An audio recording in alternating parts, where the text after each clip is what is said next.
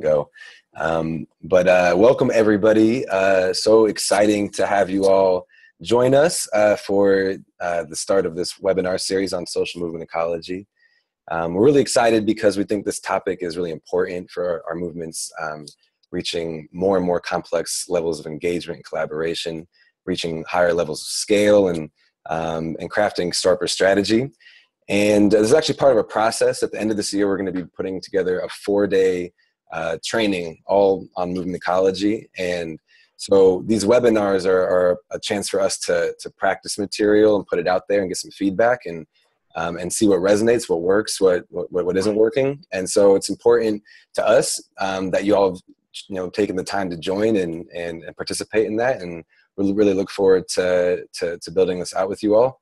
Um, my name is James Hayes, and I'm going to share my screen, and so we can get started with the uh, with the webinar.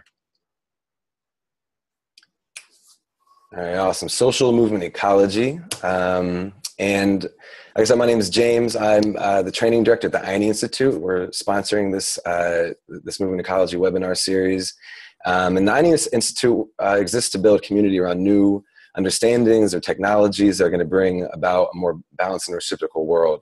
Um, uh, Ayni actually means reciprocity in Quechua, which is the language spoken by the indigenous people in the Andes. Um, and that's uh, really what centers um, drives a lot of our work. And we work around three pillars: um, memory. Uh, we think it's really important that to to look at our past and our history and learn lessons from our ancestors that we can that we can bring forward today. Um, we also work, do a lot of work on alternatives and figuring out how can people meet their needs in, in, in new ways outside of the state and outside of the market. Um, and, and figuring out how do we strengthen those alternatives. And we also uh, do a lot of work around around movements. Um, and and in, in, in, movement ecology is really in the center of all of this um, and has come out of, of a lot of the work that we've done. So we're really excited to bring it to y'all. Um, I'm James. Like I said, the rest of the training team, I'm I'm gonna let them introduce themselves right now. Paul and Sophie, do you guys want to say who you are? My name is Paul Engler. I'm one of the lead trainers for Ayni Institute. I'm also a co-founder of the Momentum Training Institute, and the community and nonprofit that I work for is called the Center for the Working Poor, uh, and that's an intentional community in Los Angeles. And I will be your co-trainer uh, today on this webinar with James. Hi, I'm Sophie Lassoff. Um, I am a research assistant for the social movement ecology training uh, that we're putting together. Um, and I'm a newly trained trainer with Momentum. Uh, and I'm really excited to participate today um, and help out with technology and supporting our fabulous trainers, Paul and James. Awesome. All right. Thank you both. Um, yeah, and, and, really just briefly tonight, uh, just you know, we're going to give you a quick overview of what we're going to cover. Um, some of you who might have been in momentum trainings in the past, you've seen that you've seen this material before. There's been, you know, there's always things that are being updated and tweaked and, and, and reworked. Um, but you know, this is a chance for us to take that material and go even deeper. And tonight we're going to be covering what are some different approaches to creating social change. Um, there's you know so much diversity uh, in there, and we're going to talk about how do we how can we understand and appreciate these different approaches and traditions for making change, and in hopes of building new relationships. And we're also going to talk about what is movement ecology. Um, we, you know, as we launched this, we heard that a lot. Like people are interested just in that metaphor of ecology and ecological thinking. Um, and so we're going to talk about that a little bit tonight as well. Um, and then in the second webinar, we're going to we're going to go a little bit deeper in, in, in, into all this material. Um, but before we do that, I'm going to pass off to Sophie to talk to us a little bit about the technology we're going to be using tonight. Yeah, so um, typically we really like to make these workshops um, very participatory, but obviously it's a little more limited when we're online. Um, but we're going to try our best to adapt with the tools that we have on Zoom. Um, so I'm going to show you all a few features that you'll need to know about um, while we go through the webinar. So the first thing um, is the screen view. So you're probably seeing the, the slideshow as your main view right now, and maybe you see my face um, in the top right corner in a little box. And if you just start to click to toggle between the different screen views, um, see if you can toggle to uh, gallery view where you see everybody's faces. Everybody can start to wave at each other and you can scroll through and see people's faces. Hi, everyone. Awesome. So um, when we do introductions and things like that, we'll want to use that view just so you can see each other. Um, and then the, the second thing to do um, is to go down to the, to the bottom panel and click on the little chat box. So we already started using the chat box and people already started talking through there. Um, but this is going to be our main tool for participation during this webinar um, so that we avoid people jump talking over each other. There's 20 people on here, so um, we want to make sure it's manageable um, and we want to prevent echo. So we're going to stay muted for most of the time except for our trainers. But we really, really, really encourage participation through the chat box. And there's going to be times when we prompt you to answer questions, um, and we'd love your participation during those times. Um, but also, we don't want you to leave us feeling alone, lonely. Um, so, we would love um, to get some resonance via the chat box. Whenever you hear something that resonates with you or that excites you or you learned something new, um, we want you to put three exclamation points. So I'm demonstrating that right now, like this, if something resonates with you. And you can feel free to do that at any time. So everybody practice right now doing three exclamation points. Awesome. Look at all that excitement. It's making me really excited. Cool. Um, and so, just to be sure, if um, you want to make sure that your chat is going to everyone, you can also send private messages if you want to like gossip to someone behind our backs if, if that's what you're feeling like doing um, but the the main thing that we want to do is send a message to everyone so make sure that that your little um, your little chat box is pointed to that. Um, and then the last thing that I want to go over um, is the mute button. So on the bottom panel, again, in the bottom left corner, there's a button for mute and unmute. And so you can, don't practice it right now, but you can unmute yourself at any time. Um, while we're presenting, please stay muted. Um, and if for some reason you accidentally uh, unmute yourself and there's a bunch of background noise, then I, as the host, might mute you. Don't be offended if I do that. Um, but there will be uh, one point when we're all going to unmute ourselves and actually get to get to talk um, besides doing intros um, so that's a button you need to be familiar with um, and then we're also i just wanted to make sure everyone knew that we're also recording uh, the webinar so if uh, you're like scrambling to take really quick notes or something and you'd rather just experience it as it comes, know that this will be available on YouTube um, after the fact.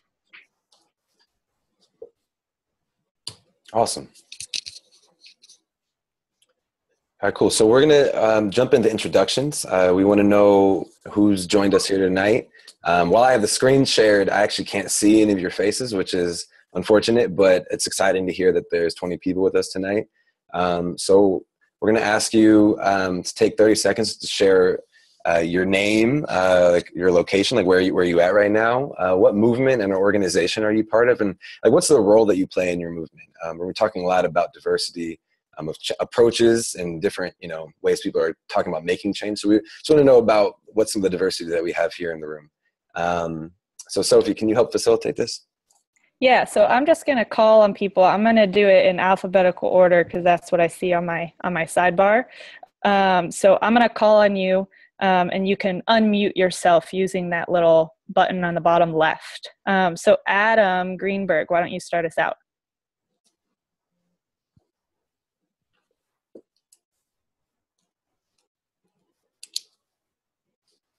Adam, are you there?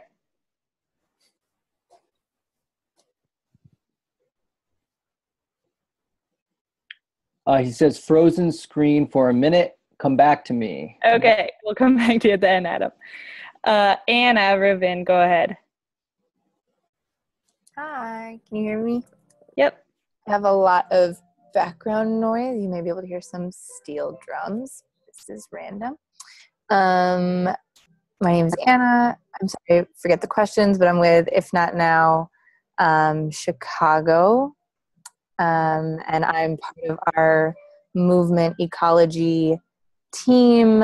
Um, and I'm very new to movement ecology. So I was just really excited to be on this and learn. Um, with that questions? Great. That's, That's it. Great. Thank you all. Awesome. Ariel, go ahead. Um, yeah, sorry. Um, my name's Ariel. I am in DC right now and also repping, if not now, DC. Um, and our role in that, if not now's role in the larger Israel Palestine anti occupation movement, I think is um, around like aligning the left on, on a certain strategy and um, yeah, trying to reclaim what it means to be Jewish um, and and changing our American Jewish population's um, support of the occupation into one of not supporting occupation. Awesome. Thanks, Ariel. Uh, Avery, you're up.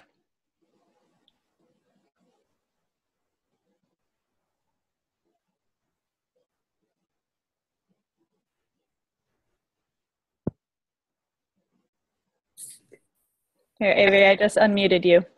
Oh, okay. Um, hi everyone, I'm Avery Rains. I'm with Sustain Us, and I am tuning in to just yeah, I'm really unfamiliar with movement ecology. Really interested to know more, specifically how it pertains to like Sustain Us leadership development and our like structure going forward. Um, and looking forward to taking this into other aspects of different movements that I'm involved in as well. Awesome. Thanks, Avery.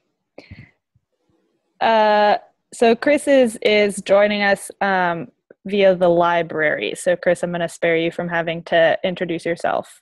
Um, well, Chris says this. Hello, all. I'm Chris Moore. Oh, there he is. Backman, listening in from Chico, California. Lots of experience in movement to end mass incarceration, and producer of a radio documentary series bringing down the new Jim Crow have a book coming out next month called Gandhian Iceberg, the Nonviolent Mass Manifesto for the Age of Great Turning, trying to rally folks in the movement of movements with a force enough to turn the sucker around. Also involved in international peace teams, working with Christian peacemaking teams in Hebron, Palestine. Nice to meet you all. Great to meet you. Awesome. Thanks, Chris. Um, and Sean is excited about people being together offline. Um, cool. So, uh, LT, where are you at? Hi there. Can you hear me? Yep. Uh, my name's Lisa, um, and I'm in the Boston area. Um, right now, I'm working with SURJ in Boston, and so I'm really new to movement ecology and just interested to hear and learn more about it. Great. And just to um, keep things quick, we'll just make sure people introduce uh, their their name and um, if they have an organization or movement that they work with. You don't have to go into why you're here, anything like that, um, just yet. Uh, so someone is on an iPhone titled iPhone. I don't know who that is, but if you want to chime in. Hello. Hi. Uh, hi. Um, uh, my name is Diego, and I'm from uh, Homestead, Florida, and I'm currently working with Cosecha. Awesome. Thanks, Diego. Hmm? Isaac. Hi, can you hear me? Yep. Cool. Uh, yeah, my name is Isaac. Um, I'm in the Boston area, and I um, am with SURJ, showing up for racial justice in Boston, and also with the ARC, an anti-racist collaborative, which is out of the Humanist Hub in uh, around the, uh, out of Cambridge. So nice to be here. Thanks for having me. Thanks. Uh, Jay Berkman Hill. Hi, my name's Julia. Um, I'm in New Haven, Connecticut right now. Um, I work with the Divestment Student Network and If Not Now, Boston. Awesome. Thanks, Julia. Jesse, go ahead.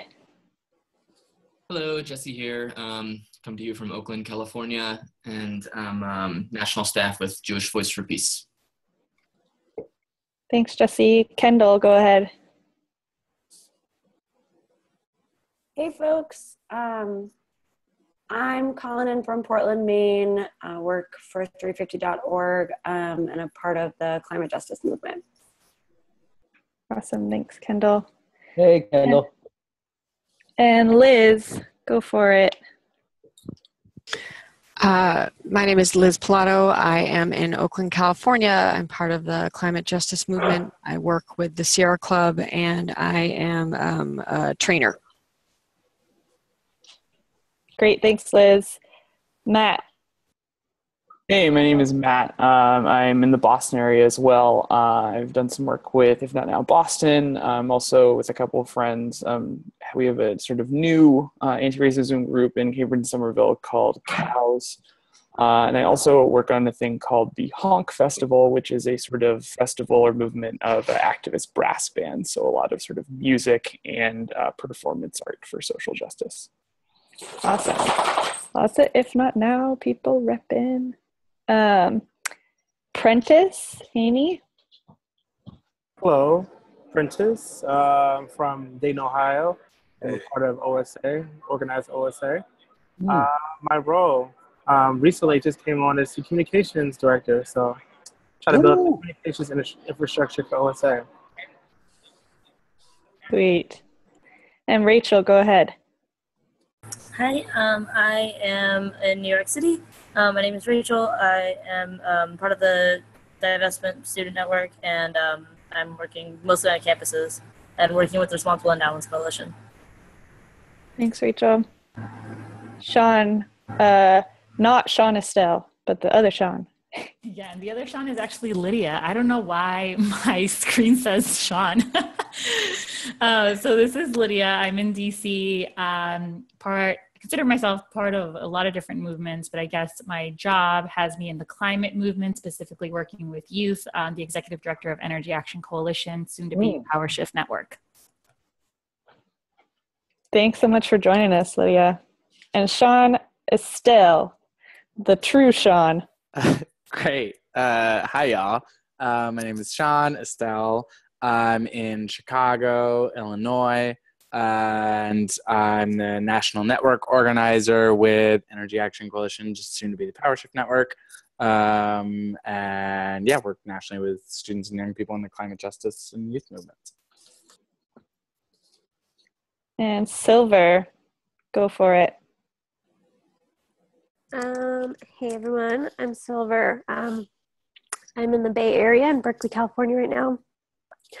I have to cough. um, I'm part of the fossil fuel divestment and youth climate justice movement, and I'm a campaign coach and trainer and mentor in that movement. Awesome. Thanks, Silver. Sophia.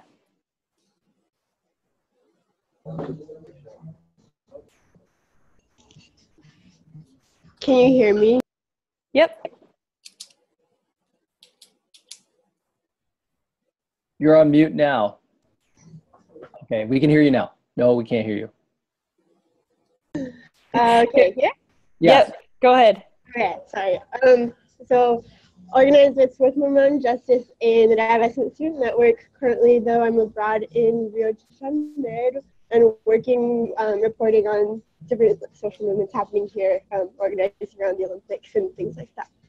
Great. Awesome. Thanks, Sophia. And just two more. Taylor. Hey guys, uh, yeah, my name is Taylor. I live in Boston. Uh, mostly worked on, on issues of corporate accountability and money and politics, uh, primarily through a group called We People, which um, grew out of Move to Amend. Uh, but I found my way here. We got kind of cut off, Taylor, but that's I think we got we got the bulk of it. okay. We got it. Good. Awesome. Victoria, last but not least. Hey, I'm Victoria. I'm in the Bay Area in California. I work for the um, in fossil fuel divestment. I'm also a coach um, and help coordinate the escalation corps. I'm happy to be here. Amazing. So many amazing movements represented here. Thank you all so much for, for bearing with that lengthy process, but I think it's really awesome for us and for all of you to know who's here with us today.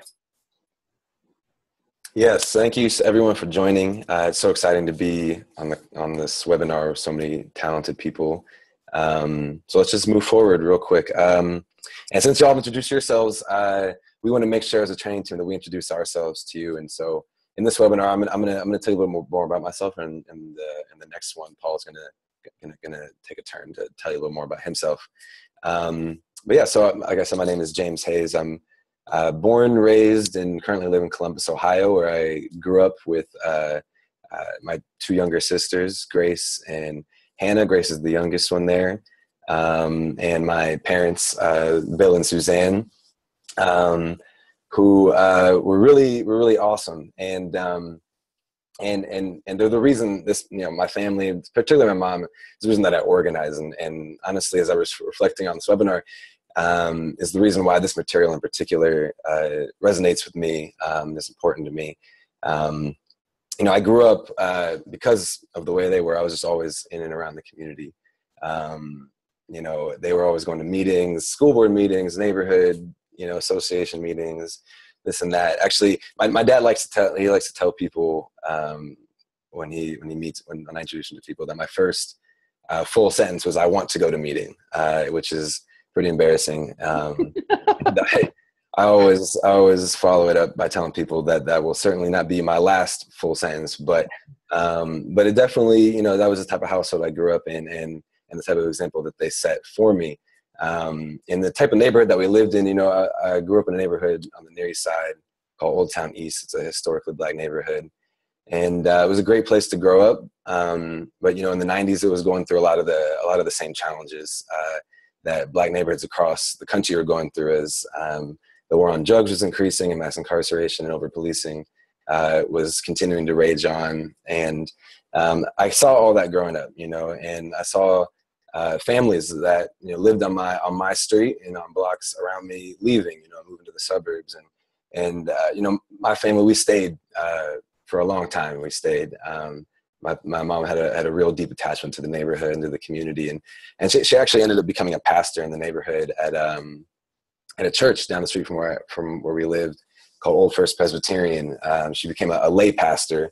She never actually went to seminary, but, but this is a very, really small church. And, um, and, and she was all they could afford. Um, they were happy to have her. And she was, she was really happy to have that congregation. And, um, and, and, you know, being there uh, was interesting. Uh, you know her her sermons you know you know people have this idea about church and her, her she was a different type of preacher um, her sermons were really just like diatribes against the iraq war um, and the bush the bush regime and um, and she was always in the community trying to start different projects uh, you know I, became an organizer because she was always always an organizer um, one of the one of the best projects that she got started was uh, it's called uh, the Four Seasons City Farm. It's is a community garden project, and you know a lot of people in the community had noticed this need uh, that there weren't any grocery stores. Um, there were only corner stores that had you know chips and uh, soda and candy, and people couldn't you know walk somewhere to get fresh produce very easily. Um, and so people decided, hey, let's let's start a let's start a, a community garden.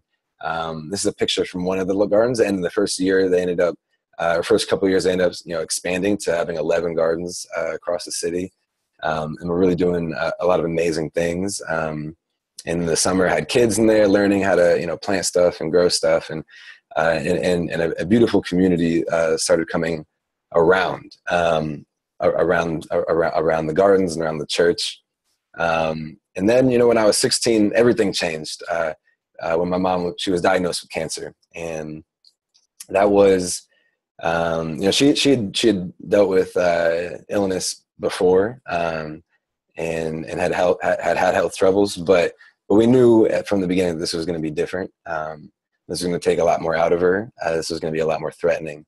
And um, you know, the community, you know, really rallied around her. But uh, you know, two years later, after I graduated high school, uh, she was in hospice, and um, you know, and and that year, you know, it was a it was a year of a lot of lessons for me. Uh, it was 2008. I was 18, um, and I had uh, been swept. I was very excited about uh, Senator Barack Obama I was knocking doors and talking to people. I remember the hardest person for me to convince to vote for President Obama that year was my mom. She she uh, she said to me, "He's a centrist. He's a moderate.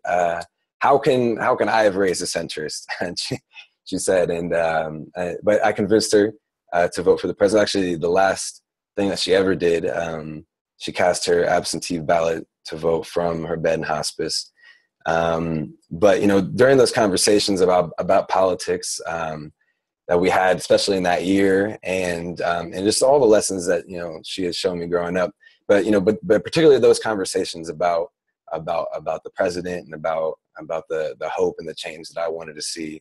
Um, and, and and and as a few years were as passed, and I was in, in college and was starting to um, get involved in other sorts of things. And you know, I and actually it wasn't just me. I think you know, you know, I started college in 2008 and in 2012, and in the fall of 2011 is when Occupy Wall Street jumped off. And I think you know, our whole generation had seen. Um, you know, I'd gone through this period of disillusionment and realizing that we couldn't just, you know, vote somebody in and expect things to change. We actually had to get involved and get active and, and build and uh, organize and protest and and, and, and make our voices heard. And, and, you know, I was learning the same lessons and reflecting on, on, on what she had told me. And so I became an organizer uh, on my campus, uh, involved in a, a, lot of different things, um, involved in stuff. And, you know, we started a couple newspapers. Uh, we're involved in Occupy. We ended up starting a group um, out of the Occupy movement called uh, the Ohio Student Association, which um, you sort Prentice is the communications director for now. So um, it's been going on uh, for over four years now. And it's really exciting um, to see where it's at today.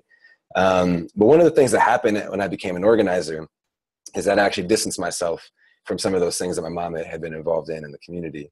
Um, you know, and it wasn't intentional. You know, in, in, the, in those years in college, I actually joined the board of the community garden, the Four Seasons City Farm, and uh, you know, the garden was going through a tough time. After my mom had passed, it was uh, it was it became really hard for the garden to you know find uh, the leadership it needed to uh, uh, to you know get all, you know, everything together. The the next ED that, or the someone you know the next ED that they the board had put on had uh, um, you know messed up some grant paperwork and lost a bunch of money. You know, there's a bunch of stuff going on, and they asked me to join the board, and um, and I was happy to. Um, but one of the things that happened as I became started organizing was I started learning that um, that there's a difference between um, organizing for power um, and doing other things like community gardens and. I actually made a decision to step back from the garden and focus all my time into building an organization uh, focus all my time into building power. And, um, and you know, I'm, I'm very happy that I made that decision. Um, but there's been, there was pain from it in, that moment. Um, and it's a tension that I saw then, but I've also seen later on in the organizing. I did a lot of work, or I've done a lot of work, I still do a lot of work around uh, criminal justice reform, mass incarceration, ending police terrorism in our in black communities, black and brown communities. And, um, and you know, it's particularly in the movement to end mass incarceration. I saw this tension play out, where especially folks that were coming out of prison and were organizing and, and we're trying to figure out how to build a, a, movement of returning citizens. A lot of folks wanted to wanted the first thing that they really wanted to focus on was building uh, mutual aid services to help you know when people come out help them get back on their feet help support them so that they can you know organize. They're saying people don't have have the time. And and and i've been i was in meetings or organizers so that's that's not organizing for power. That's not building power. And and i've seen people leave. I've seen and i've seen organizations split over and, and leaders leave organizations o- o- over these tensions. And and so when i when i went to my first uh, momentum training and uh, and in January 2015, and we went through this movement ecology, this movement ecology module, I, I thought to myself, this is this is really important, and this is something. I actually immediately brought it back to the organiz, you know, to the organization I was in, and the, the set of organizations that we work with closely to share it with them, because I thought, you know, this is this is a really important framework for for understanding these tensions. And um, and I thought about it again uh, just a couple weeks ago, a month ago actually, because the the church that my mom was pastor of uh, decided to uh, dedicate uh, the first garden right outside the church to my mother and um, and it was really beautiful time. I hadn't been back to that church in a number of years. Um, it's been a number of years since I, you know, I really haven't gone to church since she passed away. Um, and, uh, and so I, I, was there and with my family, uh, a bunch of my friends came and a lot of people from the church, a lot of people from who participated in the garden, some people who also hadn't been there in years, they came back too, um, because, you know, of how much my mom meant to them, but how much, you know, those times that in that community meant and that garden meant to them. And I was reminded again in that moment uh, you know how much power there really was how many, how many, how many resources there were in that community um, and uh, and what a shame it was that I couldn't really tap into that when I, as I was organizing and building um, and building what I was building in, in Columbus. Um, so yeah, so I'm really excited for the, for this because I, I, think it can help. Uh, it can help a lot of people uh, who've had tension and even had pain around these tensions um, come together and have, have, a, have a new conversation about how do we build new relationships between different approaches and theories of change. Um, and with that, I'm going to pass it off to Paul to uh, take us and into our, to our next section. Our next section. So this training we do at the beginning of all momentum trainings. Um, and momentum training is a training that we developed, which is a three to four day training talking about some of the basics of how to build popular mass protest movements. It's primarily focused around that. But the first thing we realized before we even really start doing training is we need to set up a container to be in good dialogue. And what we realize is when people come to trainings or they're coming to webinars, a lot of times the first thing they're thinking is, is this going to apply to me? And whether or not I should endorse this or not. Is this good or is this bad? Does this apply to me or not? Is this part of my politics or not? And actually, we don't want you to do that. We're not here to get you to endorse us.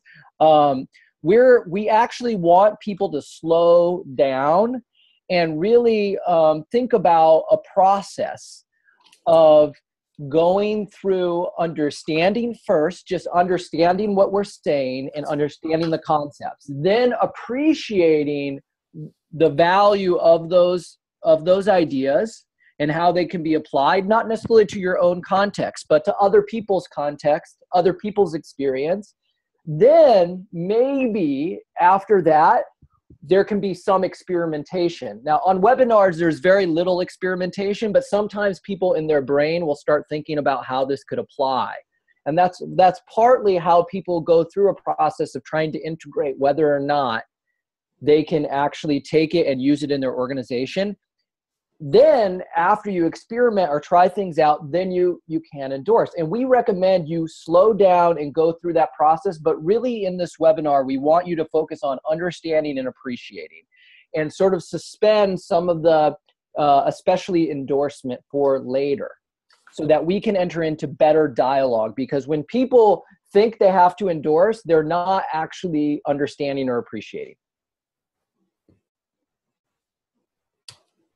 Awesome. Thank you, Paul. So as we move forward, um, we're just going to start in, in by saying that, you know, as there's so many different cultures and organizations and theories of change. There's a, you know, a vast diversity out there of, of, and, and within that, you know, there's been developed traditions, you know, and, and, you know, people have a lineage of thinkers and writers um, that they look to. And so, and, and, and so, and so, so there's, there's, there's a lot of diversity out there. Um, and as, as we move around within our within our respective traditions and uh, and, and, theories of change and cultures um, a lot of times we're kind of like fish in water. Um, and there's this quote that we like to we like to use you know as we really think about how do, how do we start to just really understand and appreciate um, we say you know we don't know who discovered water but we know it wasn't the fish. Because they're just in the water you know? It's so unremarkable to them. It's so uh, you know, so it's so basically they take it for granted um, that it's even there um, until they get pulled out of the water, and then they can see that there's water.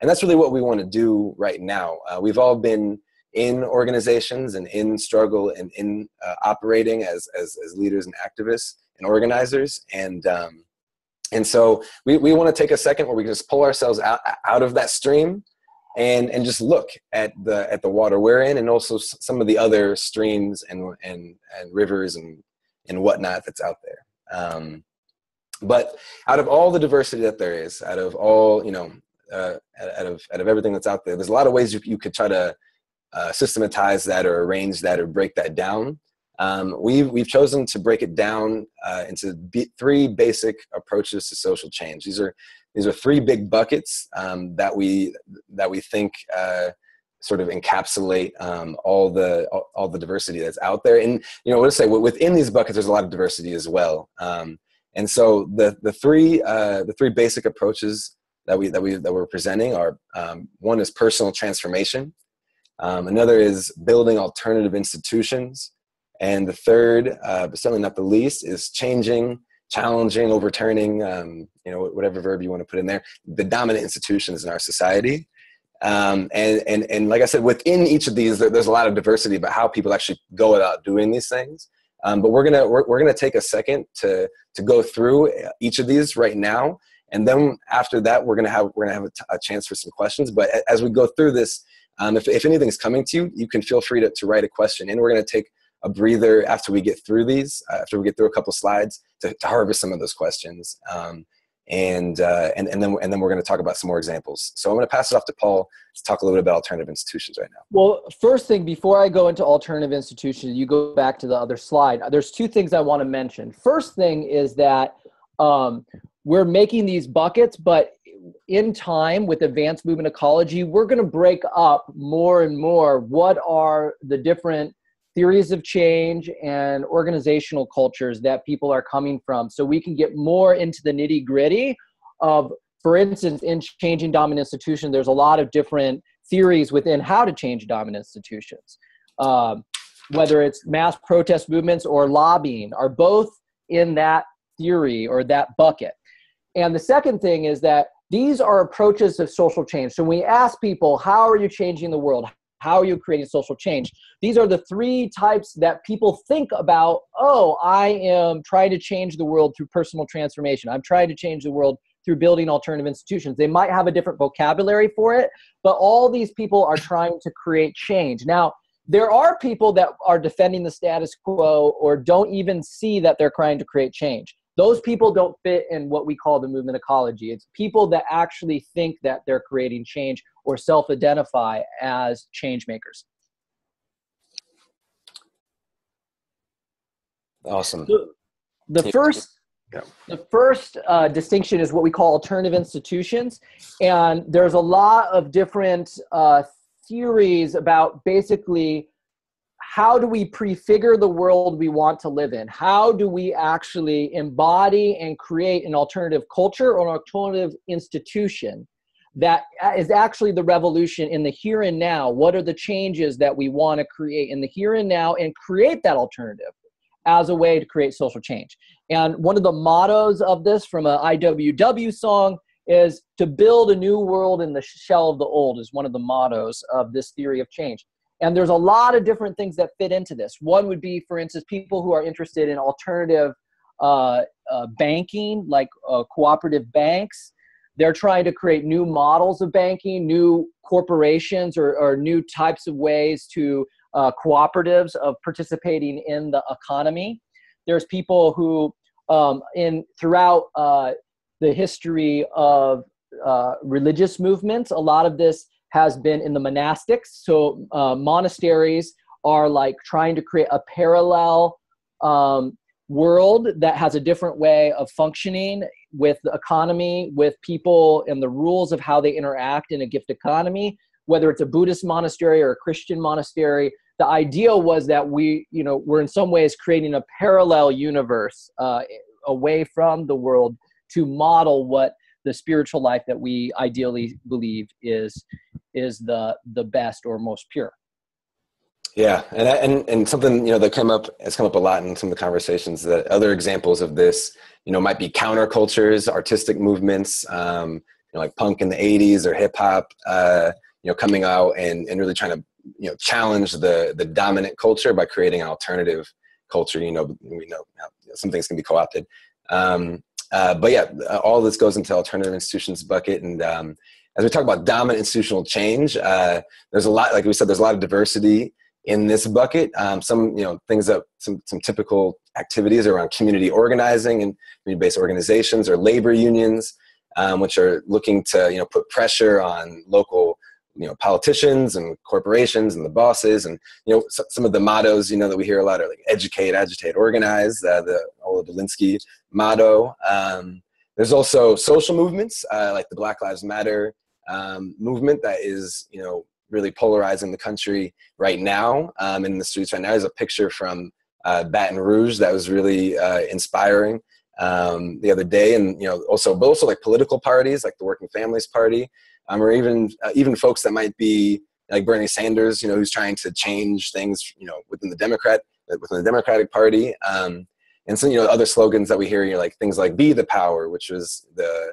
uh, Dream one of the Dream Defenders slogans. You know, not just um, you know building something outside of the power, but actually being that thing and taking it over, um, um, making it your own, so that so that you can wield power and you know stand up, fight back, uh, things like that. Um, Paul, did you want to add anything uh, before we move well, on? Well, this theory of change is primarily how do we change the dominant institutions that most people participate in. So, what are those dominant institutions? They're schools, they're corporations, they're uh, the government, they're political parties, um, they're they're the legal system. There sometimes there might be standard nonprofits. There churches, right? There any dominant institution that people are playing that are participating in, which a majority of Americans participate in a lot of them, um, and movements that are tr- financial institutions, like uh, universities, are all part of that. Uh, so, and it's how we reform them, and there's many ways to reform them. There's many ways, or to try to to uh, to to engage them in a way, uh, whether it's reform or or overthrow them. But that would be if you're engaging with the dominant institution, that it fits in this theory of change. Awesome, thanks. You want to take us away with uh, personal change? So personal change is you personally be the change you want to see in the world. The theory of change is that how you ch- you change yourself first and then the world will change one individual at a time so uh, there any theory of change where i'm going to change the world by just influencing that one person and the great metaphor of this i don't know if you've ever heard this story told many a time uh, it's been told it's called the starfish story of uh, one time an old man was walking along the shores of the sea and there was the tide had brought, brought up millions of starfish that were dying on the beach and he bumps into a child who is frantically throwing starfishes back into the ocean trying to save them. And the old man says why child why are you trying to save these starfish there are way too many starfish for you to have any impact you're not making a difference and the, the child says well, it made a difference to that one starfish, right? This is a metaphor for how a lot of times people think in this theory of change. And so, if you want to get examples of that, it would be like, for instance, service providers. A lot of times, service providers are um, like people like are doing mentoring. Um, or even doing yoga, what they're thinking about is how do we create social change for the person that I'm providing services to or trying to change them one at a time. Um, there obviously there's some overlap with alternative institutions. There's a lot of different overlaps. We're going to get into that later, but people who are really uh, rigidly in this idea is really just thinking about the individual. So there's mentoring. 12 step program is a good example of this, right? Taking people through recovery and creating change through trying to to uh, support people to to overcome their addictions or compulsive uh, behaviors to become healthier. Yeah, and so we're going to take a, a breather here. Um, uh, actually, everybody could just breathe. It's, it's like a, a, a deep breath in. And let's take a deep breath out. And um, I don't know if any, I can't see the chat box because of my screen share. I don't know if any questions have popped up, but this is a, chance. Um, if you have any questions or any insights, things that have resonated with you about the theories of change, we're just going to stop real quickly. Um, if there's anything quick that, that that's come up for folks um, before we move into uh, mapping them out a little bit more. So we just want, if you have any questions about the three distinctions, now's the time to write it in the box. And we're going to go and really analyze these three different approaches and map out a little bit about what are organizations that you're participating in in your life that fit in these approaches. But first we really want you to understand is if you have any questions about understanding those three approaches uh, any questions about that please write them in the chat box right now because we'll respond to them. If not that's okay. We'll move on but anybody have any questions write it in Okay. So it looks like we're we're doing good. It seems like people understand the approaches. Um, what time does this go to? That's a really good question. So we're trying to do an hour and a half to two hours with all the participation. So we started. Um, About six started at three. Oh, we started at uh, so three o'clock. I'm on uh, Pacific Coast time, so the world revolves around me, not you, and therefore uh, it will end uh, at five o'clock our time. So another hour and ten minutes. Um, but ideally, we would we would end earlier uh, and take questions. Yeah. All right, so now we're gonna we're actually gonna map them out, and in the in the module that we do um, at the momentum training, and you know, if we were all in the same space, we would have you get up out of your seats and move around the room and you know, do a lot of fun stuff. Um, we're gonna try. It's the first time we're doing a webinar, so it's not gonna be as uh, engaging and exciting, but uh, but hopefully we can try to recreate that.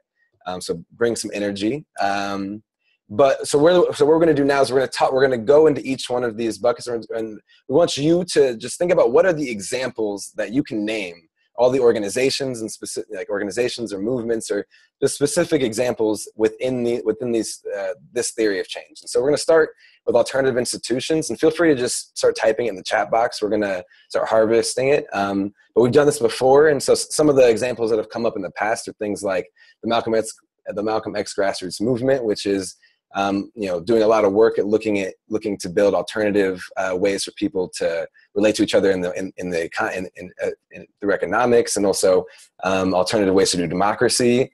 Uh, things like Democracy Now, which is the best alternative news. Uh, what did you say?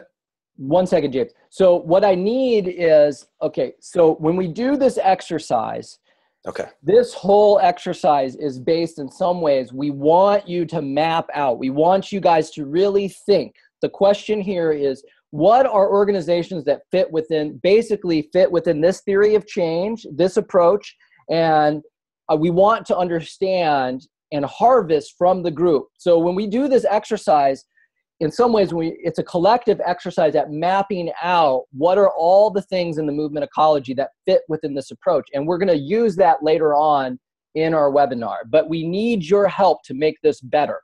So we need you to write down right now in the chat as we're going to we're talking about examples of alternative institutions but we really need you to be writing in the chat what is in your movement ecology? What are all the little examples of organizations that fit primarily in alternative institutions yeah, thank you for that. So, so yeah, I don't know if any. I'm gonna read off a couple more. Just stop me when when people start uh, sending in stuff. Um, one of the other examples that has come up a lot is Bitcoin, uh, which is an alternative currency. Um, countercultural movements, like so we have a picture like from Woodstock. Um, I, I, Paul, is there anything coming in the chat box? Yeah, Montessori schools, that's a great example. Alternative schools, food cooperatives, great example. Credit unions, uh, political third parties. Yes, all those, it's a great example. All right, awesome. Worker co ops, uh, city bike co ops, or Rich City Rides is an organization that uh, Silver mentioned. All great examples. All right, awesome. Thank you all. Um, and the same thing just you know start throwing out different examples um, of groups that fit in this bucket uh, for challenging the dominant institutions in our society. Um, we already talked you know there's like popular movements like black lives matter cosecha. Uh, there's movements here that are here on this call. There's a lot of people that are engaged in this um, in, in this work. wait, wait, just one second. We could go back just to alternative institutions because it's yeah, yeah.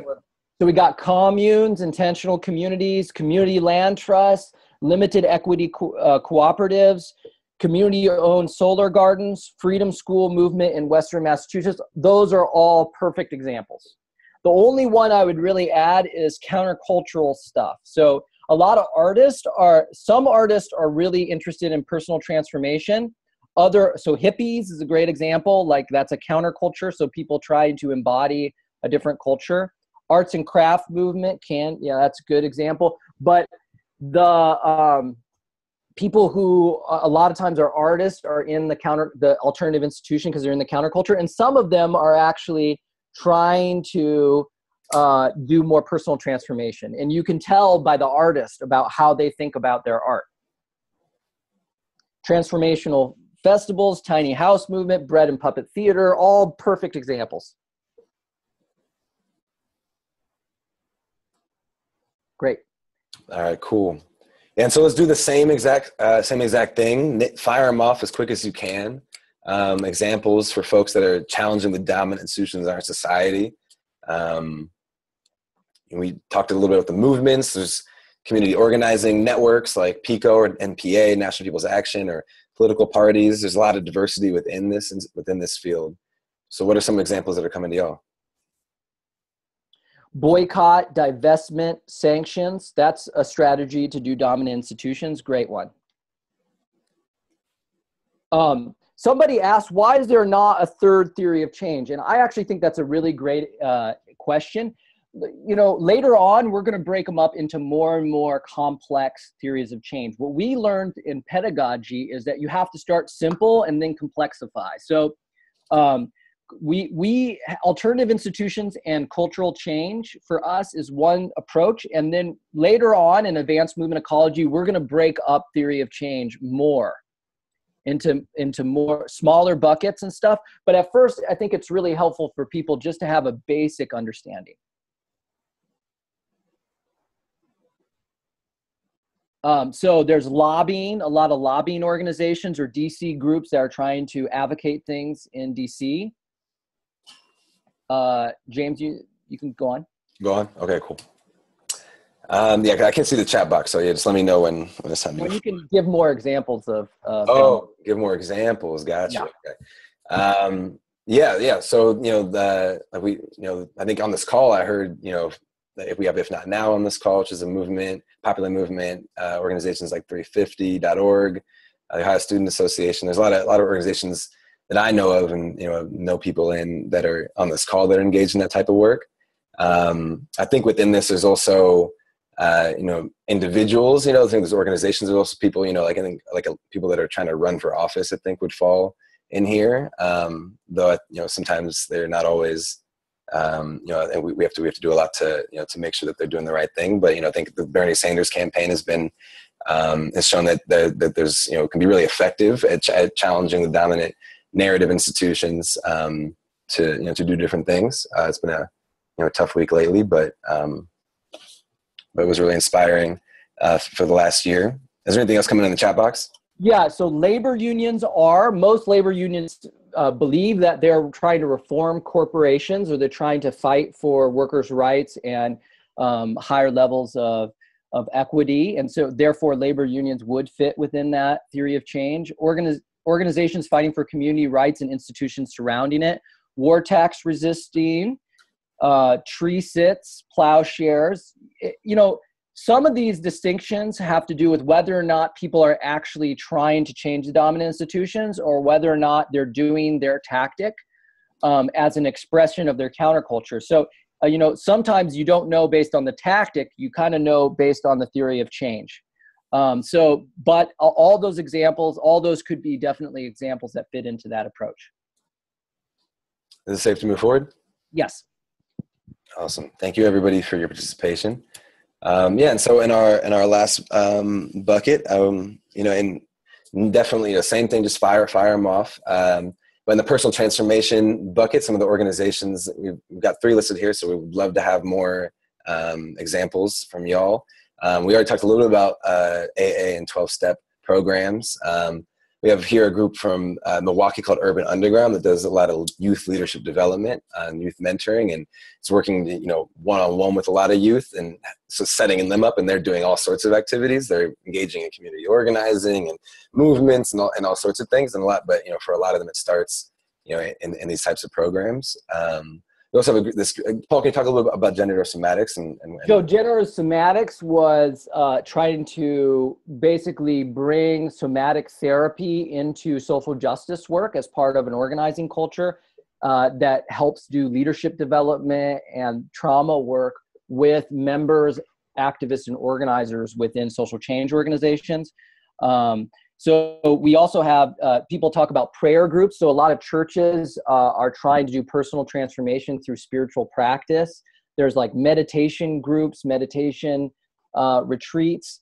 political education and book studies, great example. The Big Brother program, great example. After school programs, prison reform programs, all those are great examples from the group.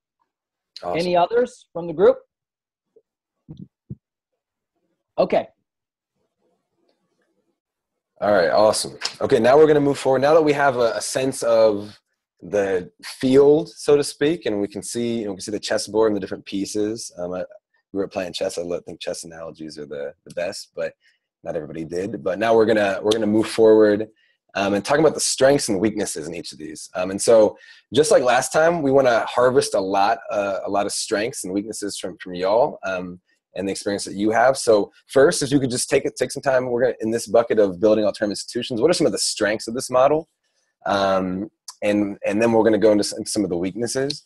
Uh, and we facilitated this this a number of times, and so we have a few things that have come up a lot um, that we've already listed out. Um, one of, some of the strengths that come up a lot when people when we do this is that through building these institutions, you can model the world that you want to see. Um, and and also through doing that you can decrease the dependence that we have on the dominant institutions to meet our needs whether you know that be the market or you know reliance on the state um, reliance on, uh, on, you know on, on, services and programs um, and figuring out new ways for people to to, to meet their needs. Um, but uh, what are some other strengths that come to you um, and write them down in the chat box. Is there anything coming in right now paul?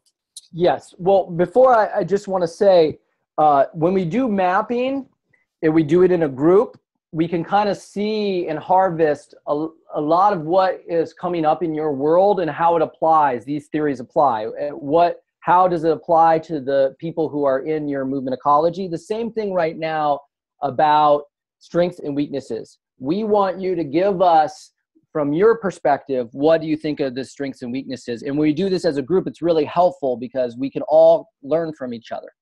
So uh, one of the things that, that there's uh, that people have been writing is uh, the strengths of alternative institutions and cultural change is a lot of times it's it doesn't rely on the influence of funders or traditional funders, which are generally funding things that are more legitimate. Uh, that are seen as more dominant or legitimate. That sometimes happens. Practice uh, a lot of times it it practices um, uh, democracy, equal rights, equal participation, or less hierarchical structures, or it, it, is actually practicing uh, different models of organization and, and practices. Um, um, so somebody the the distinction between alternative institutions and personal transformation is a lot of these we're going to deal with this later on in advanced movement ecology but a lot of times uh, people who are doing alternative institutions are also thinking about personal transformation this is true there's an overlap but the the two we're trying to make a distinction between people who are really really thinking about actually building an alternative institution instead of doing personal transformation. And in our uh, most people who our experience who fit within those two approaches generally have different theories of change. Now sometimes there is a, a synthesis. So right now just for this purpose we're just going to brainstorm and create that distinction and try to relate to the people that have a different theory of change in a different culture that they've built around that theory of change around just moving the individuals versus alternative institutions. Um, it's harder to market onto bigger media platforms. Well, so like um, it's harder to well that's that's sort of on the weakness side. But is there any other strengths? We want strengths for um, is there str- str- strengths instead of weaknesses that we of alternative institutions? Yeah you can live the change and experience it. That's good. There's, it's a learning opportunity. It could be it could be research and development before we ask a dominant institution to change things. A lot of times it's great to have an alternative institution. Like if we have food uh, uh, an alternative food system, then we can, it's easier then to, or, or, we, we experiment with organics, we can push then for um, organics or anti-GMO stuff when we have an alternative that's already worked out. Um, and it can start small so people can experience something uh, very small scale so that later on it can be scaled up in different ways. There's a lot of creativity about it. People have a great sense of community a lot of times through creating alternative institutions. Um, there, there can be uh, direct community investments. Mm. All these things are great. Figure out how to scale after. Great. All those are wonderful. Um, uh, the yeah, I think all those are great, great examples. You want we want to go into weaknesses now. Let's talk about weaknesses. Yeah, let's do it. Let's do it. Yeah. So yeah, just you know start start listing them off. Um, you know, some of the one the ones that we have listed here, just you know that this often happens um, at a scale that's small and it doesn't doesn't affect you know thousands or you know certainly not millions of people. Um, it's very labor intensive. It takes a lot of work um, to maintain and sustain and and build these models, even at a small scale. Um, a lot of commitment, a lot of skills and resources. Um, and yeah, and so you know, just it, it, it just takes a lot on our end to to build and sustain them. But what are some of the weaknesses that are coming through the chat box? So we're talking about somebody said it's easily co-opted. I don't know if I've experienced it that much, but I think sometimes because they're in a small scale, they can be co-opted. But actually, I think a lot of times alternative institutions are harder to co-opt. Um, somebody says they're elitist, so it, it's a lot of times who has access to the alternatives is very limited. Um, and a lot of times that could be just white hippies or white, you know, the counterculture a lot of times can, can only be accessible to certain populations and sometimes that that misses out on more marginalized groups. Um, a lot of times it feels like it's it's not it can't go to scale or that we're not making changes that affects everyone or not changing things that are systemically. Uh, it doesn't address systemic uh, change um, in the dominant institutions. Um, and it doesn't feel like you can make the change at the scale of the actual crisis when you're just creating a little garden or you're creating an alternative school or alternative justice system. It's like the crisis is so much bigger than anything you can actually create at a small scale.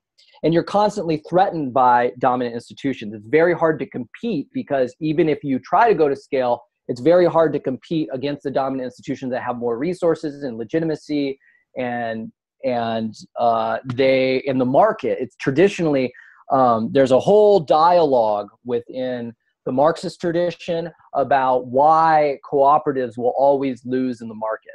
Uh, it's very hard for cooperatives to actually compete and scale in the market and there's a whole bunch of theory about why that is because they don't have access to financial capital they don't have um, you know they don't have venture capital they don't have an entrepreneurial uh, uh, culture, you know, all these things that Gramsci and other people mentioned about the, what's so hard uh, for alternative institutions to scale. And they're constantly uh, threatened by dominant institutions. And they have a pure, a lot of times they'll have a purity culture that really isolates them from other people. Yeah.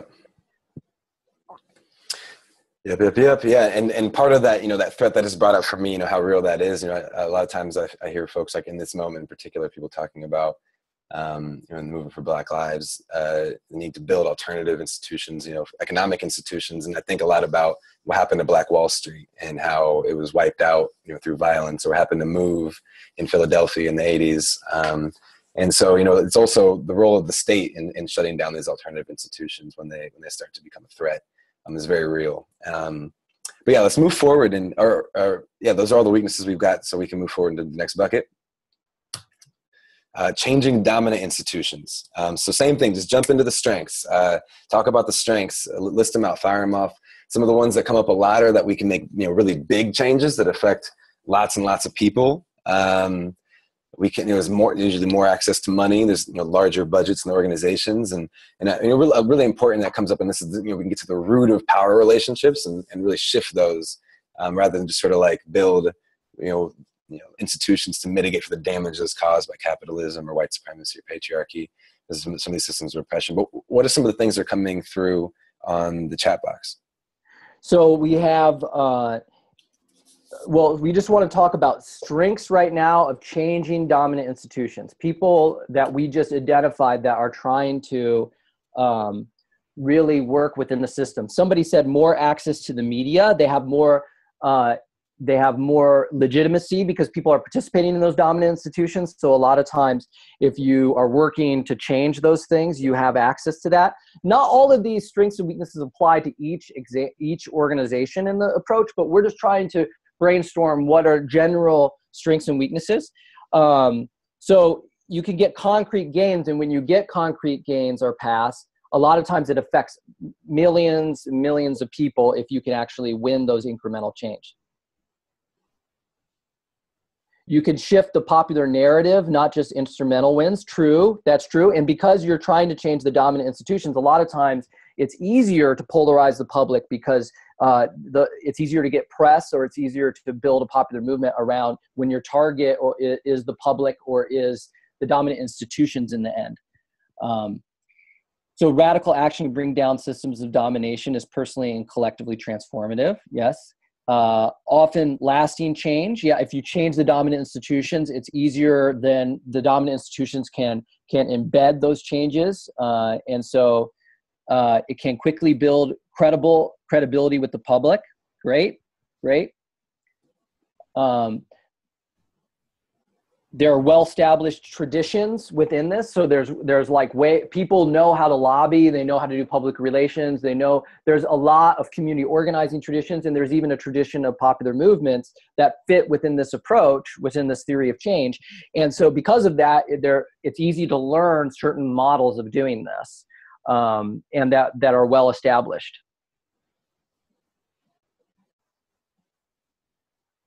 any others? Uh, any others Good. Want to go to weaknesses?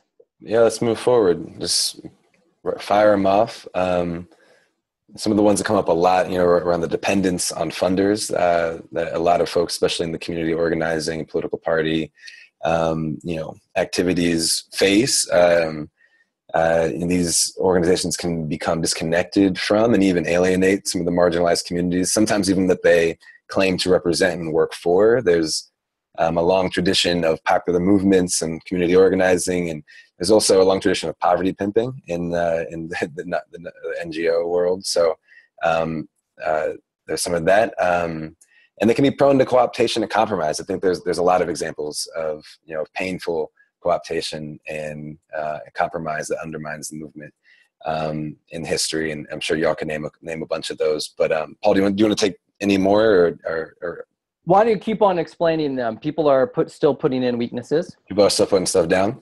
Yep. Um, okay. Yeah. Yeah. And so some of the other ones that come around, there's this pressure to play by the rules, the dominant rules, you know. And so um, if you're engaging and changing dominant institutions, and you're and you're you know, uh, talking to, you know, there's, you know, in the Alinsky tradition, they talk about how an organizer needs to wear a suit and tie um, to, you know, to really fit in. If you want to be taken seriously, you have to wear a suit and tie and play by the rules. And, and sometimes you can't uh, you have to make compromises on you know on how you personally want to show up in the world, but also on the things that you say and the and, and, the activities that you engage in. Paul, do you want to say anything more about that? Well, I think co-optation is is is is played out a lot. Once you start playing within uh, changing the dominant institutions, then there there's only a few avenues, and because of that, you're sort of limited. Mass protest movements have a way of of trying to change things that are a little outside of the boundaries of traditional change. But even then, somebody said, I thought it's often hard to sustain the momentum of mass protest movements or of movements and change. Uh, not a lot of times, it's not at the change we need. In a lot of the approaches, changing dominant institution is so incremental, and it's and it's hard to believe that we, no matter how hard we try to influence the dominant institutions, it's so slow uh, the changes that we need um, that we need to make. Um, sometimes when it comes to mass protest movements, uh, it's hard to measure some of that change. Um, if we're especially if in the cult, if if we're trying to to change the culture, the mainstream culture, it's sometimes uh, challenging. Um, so Chris said, such efforts usually play by the rules of the dominant system and seldom embody the spirit of the outcomes that you want to desire. I think that's a great comment. Uh, Victoria said, it's hard to see your wins and gains without legal changes or policies to point to, and it's hard to convince the public that what they're doing actually matters, um, not as materially beneficial to those that are suffering. Well, it, it, that can break both ways because sometimes, compared to alternative institutional or personal transformation, it could be larger scale incremental change but on the other hand, incremental changes, um, there's not sometimes there's not as material benefit for those who suffering um, or it's not as intense for the people that are actually participating. It's hard for them to feel the depth of that, un- unlike personal transformation or alternative transformation, which is super easy for them to feel something very concrete. Mm-hmm. Uh, individuals get get can get targeted or um, attacked uh, be, because they're they're fighting against the dominant institution. So there could be anti-union campaigns, or if you get you're really successful, there can be intimidation, threats, losing your job. Um, you can get demonized by the public for being pol- polarizing or disruptive or angry. Um, and also, I think we said burnout, but I think like within this culture, because you're not embodying the changes you want to see, a lot of times we, we're participating in these dominant institutions that aren't nourishing to ourselves. And because of that, organizers and people who are, are, are real, the warriors or leaders, a lot of the leaders who are in this, these types of institutions um, are very unhealthy and they have, um, they have very little practices of self-care. These are all great, great comments. I really, uh, when we were doing this in the workshop, it's just really fruitful to get other people's analysis of this. Uh, and we were like, can we replicate this in a webinar? And I think people are doing a great job giving us material to talk about. Um, and we really want you, even later on, to really think about this. These questions are very deep. If you start studying uh, some of the deep theories about social movement ecology um, within the Marxist tradition or the community organizing tradition, or even in within our Momentum uh, Training Institute, there's a whole dialogue that goes deeper and deeper about the systemic strengths and weaknesses of these approaches. So, um, and uh, and there's a lot of history that really talks about this stuff. But I think harvesting from our experience is super helpful. All right, cool. Yes, thank you all. This has been great. So we're going to move forward into the last um, the last conversation on strengths and weaknesses and personal change. Um, so y'all know the drill by now. Um, some of the strengths that come up a lot are that you can create deep and lasting transformational experiences in someone's life and these are type of experiences that um, that are very meaningful both for uh, the person um, who's who's having the experience and the, per- and the person who's facilitating the experience for someone. So and you know like we said in the last one the weaknesses of the dominant institutional change bucket is that it can be hard to really feel the changes or feel like you're like you're having an impact. In this you can feel it um, you know immediately and, and, and, in a deep way and through that you know it creates community. It creates a community usually around people that are trying to intentionally embody um, new practices and, and working on their own personal development personal growth. So um, those communities can be very supportive for people. Um, you know another one that comes up a lot is that people say you know fundamentally if people do not change the world will not change. And so you know a lot of a lot of folks know by now that you can you can legislate a lot of things you can't legislate um, you know racism away. You can't legislate homophobia away and and and and there's there's work that has to be done on the individual and interpersonal level as well as at the systemic and structural level um, to, to, to to bring about the changes that we want to see um, and last the thing comes up a lot is it's r&d for movements research and development um, so we can figure out you know new innovations and how we can help people um, you know, not burn out essentially and, and, and, work on their personal growth as they're, as they're engaged in movement work. Um, Paul, is there anything, anything that we need to add? People, uh, Sophie said that it's accessible to a lot of people who aren't necessarily political will get involved in being personally transformative. And that could be a gateway for, um, for participation in movements or social change in general. Um, somebody said it's healing uh, it can be very healing to the individual, and we need that healing. It could be fun because we're focusing on the individual. It could be very immediate. We can feel the change immediately. And the metrics for change, because it's one individual, is easier to measure.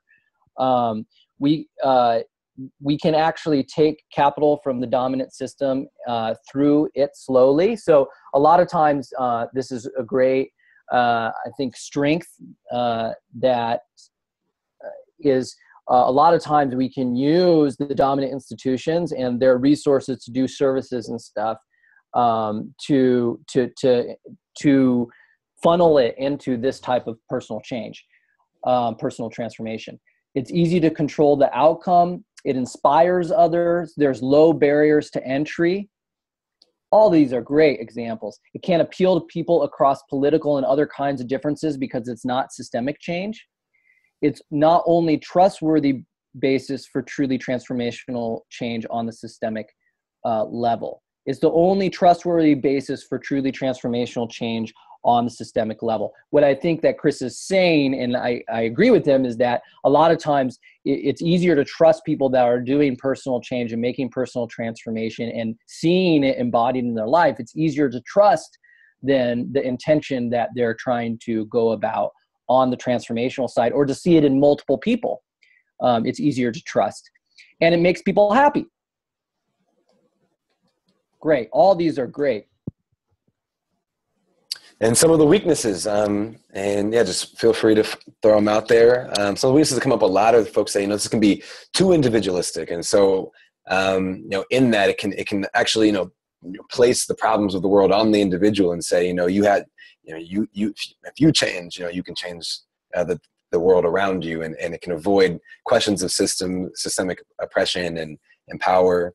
Um, it can also avoid confrontations with power, you know, seeking to, to focus on on on yourself and and and and within that you know we, we talked about how it keeps the illusions of meritocracy alive and respectability of politics it can fall fall into that um, sort of the soft side of the bootstrap argument um, and you know this often is fragmented and isolated from communities uh, but um, but but you know but can also be very accessible to them at the same time and um, you know and the scale is, is also something that we need to figure out how does it scale up in a, in a, in a meaningful way. But Paul, what are some of the things that are coming through?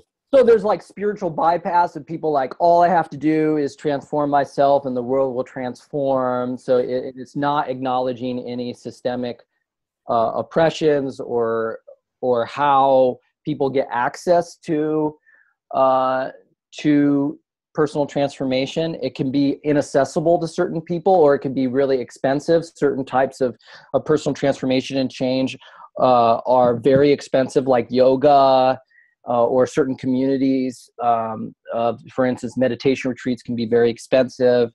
Um, not necessarily politicizing. So a lot of times people exactly the opposite. It can blame the individual for systemic problems, like pull yourself up by the bootstraps instead of really um, really acknowledging and understanding what are the supports that lift everybody up and what are what are the things that can scale or, or really create the change. It's a slippery slope into navel gazing, losing connection with oppression and oppressed people. Um, and it can be othering of other people. Great, great. You want to explain a little bit more of that, uh, Kendall? But uh, you want any other examples in the chat? Go for it. Uh, but I think with the othering, what the way I would interpret that is that there's a sense like, okay, you can make the, it's what we said is it can be too individualistic. It's like saying, okay, the the the foci of change is the individual. Therefore, if you are not the one who is creating individual change, it's your fault. So it's like blaming and othering other people and blaming people who um, a lot of times are marginalized or don't have access to the same levels of support um, can often lead to overemphasis on consumer action and actually enf- enforcing consumerism. Great. I think our whole culture really is that I think the dominant narrative around change is actually personal transformation and change because it fits into a consumerist ideology or individualist ideology. Okay. All right, awesome. This is amazing. Um, and so you know, out of this conversation, I think you know we're seeing. I mean, I know I'm seeing some patterns and some. Uh, it's, you know, there's some complement. There's uh, that these things can complement each other. Um, but so often, uh, you know, these different theories of change they operate uh, in antagonistic ways. Um, and so, you know, there's a lot of conflict that happens between the approaches. And so, we're we're going to keep that that conversation around the strengths and weaknesses of each in our in our brains. Um, and we're and we're gonna and and we're gonna we're gonna do this exercise. Um, that I'm gonna I'm gonna ask Sophie to sort of um, uh, faci- help us facil- help facilitate and explain what, what we're gonna do. Um, but but we're we're gonna get a chance to talk to one another about what do these institutions say about the others. Um, we all, we know we you know we know that there's a lot of shit talking that goes on um, between between each. Um, but Sophie, why don't you take a second just to explain how the process is going to work and how we're actually going to do this? And Paul, if you, if you want to add anything about about what this exercise is. Yeah, so um, we're gonna go into a gallery view. Remember how at the beginning we sort of toggled around with our view mode so that we can all see each other's faces. Um, so go up in the upper right corner and um, begin to see each other and wave. And then I um, am going to ask everybody who feels like they don't have too much background noise um, to unmute themselves, um, and we're just going to shout it out. But not quite yet. I'm going to explain the Not- instructions and we're going to go through them one by one. We're going to go through one by one, but basically, this is the only time during the whole webinar that you get to just like yell out without being called on or in the chat box or whatever. Um, because it's supposed to be, it's designed to be uh, very spontaneous and and like we're getting our our frustrations out. So what we're going to do here is it doesn't have to be necessarily what you say about those those other approaches but what we know is there's a lot of pooping in the water that w- that there's a lot of rigidity and people that fit in the water are constantly pooping in each other's water. And so you hear lots of insults that we throw at each other a lot of shit talking and i want to get the shit talking out so I want to really get into the shit talking, really get into the pooping. So let's all, if everyone could take a breath in and a breath out, and let's connect to the shit talking. Okay, this is not necessarily you that have said this, but you've heard it about what do we say, and I want you to yell it out with great emotion. Okay, great emotion. We're going to talk about right now what do people say about personal transformation? What's the shit that other that the dominant institutional change people who are in that approach and alternative institution uh, alternative institution and alternative culture, what do they say about personal transformation? Yell it out. Oh, good for you. Not doing to change the system. You dropped out of the movement to become an organic farmer. Screw you. Yes. Screw you. Hippie bullshit. Hippie bullshit.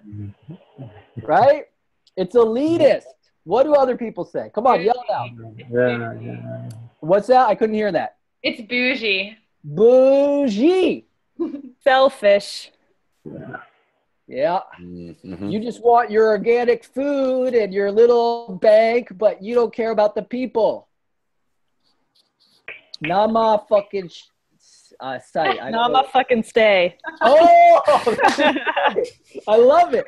God, that's good. That's good. What? Come on, let's get some shit out there.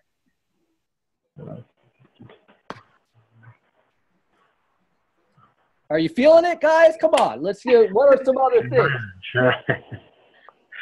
Capitalists. Mm-hmm. It's not strategic. Not revolutionary, right? Not realistic. Yes. Not Oh, enough. No, oh yeah. The zombies are gonna eat you alive in your little hippie commune. The zombies are gonna get you because you don't fucking care. Too touchy feely. Too many emotions. Woo woo woo woo woo woo woo woo. That's exactly what I meant to say. Go meditate someplace else. We are down for the revolution here. Yeah, that's all. Is there anything? Is there, are, are there anything other things before we move to the next one? We want to get all the shit out. You're appropriating everything. Oh yeah, culturally inter, like uh, co-opting. You're just taking other people's culture and using it for your own your own benefit instead of trying to change it. Not, not engaging with power or like with the world as it is. Mm-hmm. Not building anything. Mm-hmm. Escapist. Oh yeah, escapist. You have no idea how anything works. You have no analysis. No analysis. Yeah.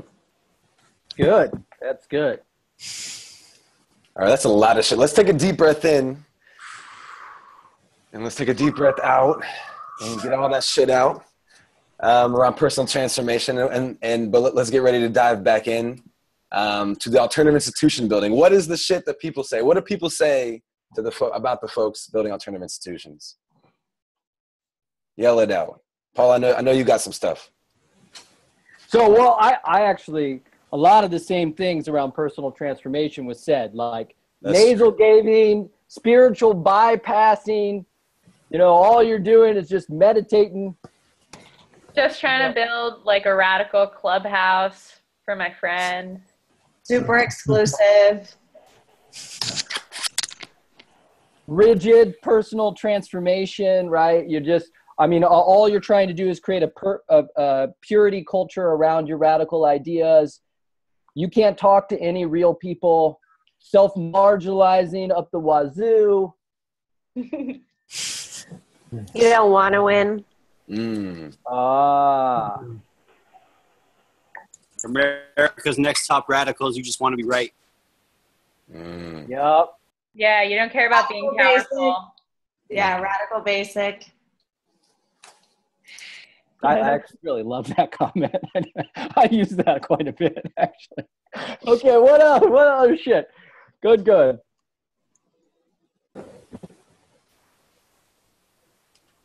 There's some interplay between personal transformation. A lot of, a lot of that similar shit that that's thrown out alternative institutions of personal transformation.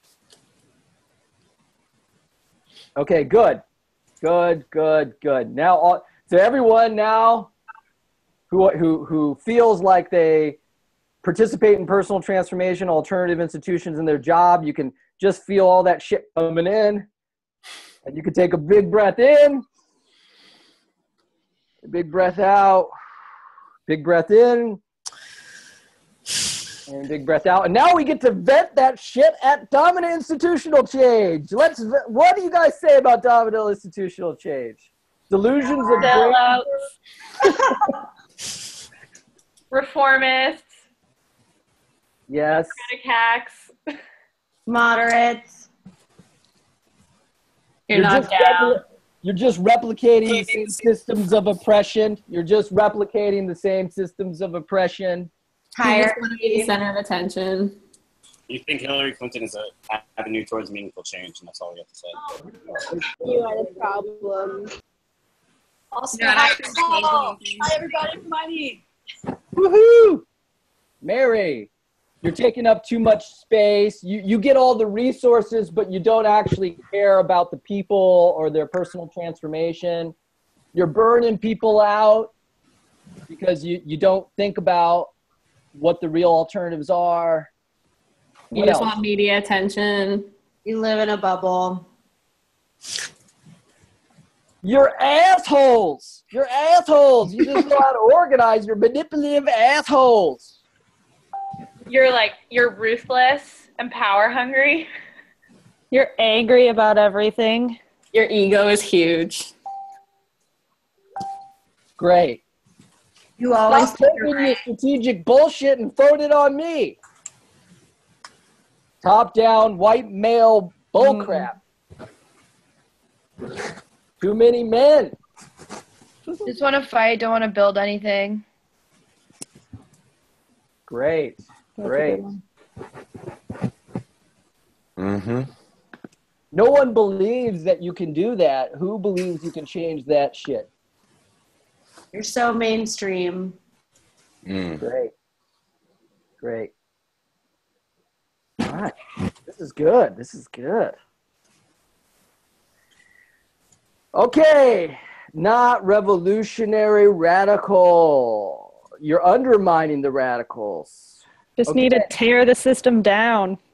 Boy, revolution, not your bullshit. Okay, let's take a breath in